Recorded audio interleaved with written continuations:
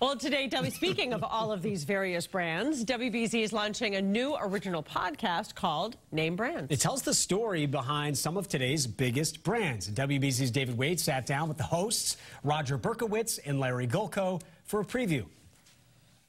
So this actual podcast is about brands. Obviously, you have a fantastic brand, but it's more than that as well. Right. It's about brands and how they evolve over time. Because if someone has a strong brand, things happen. You know, there's an evolution of whether it's uh, of customers and, and, and, things happening socially, yeah. uh, digital technology disruption, all kinds of things. So how does a really good brand transition and transcend all those changes? That's what we get to ask, and that's what we. Get. So of course, it always helps if we give them a little bit of alcohol before they come on. That works. That works, yes. So talking also, we, get, we really get insight, full information. We get inside their mind because they have a pulse in their industry, and a lot of them have come from three or four different brands. So the nuggets of information or the nuggets of wisdom they share with our audience mm. and our viewers is really pertinent. It doesn't matter who you are. You could be an executive, an entrepreneur, a landscaper. Yeah. You could be putting a shingle out as an accountant because the information can be used, David, for you personally as sure. your personal brand or for your company.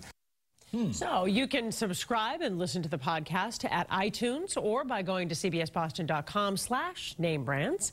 The first guest, by the way, is Boston's own Joseph Abboud. I have a feeling there'll be a lot of startup companies listening into this podcast trying to get a little tip from the guys who know.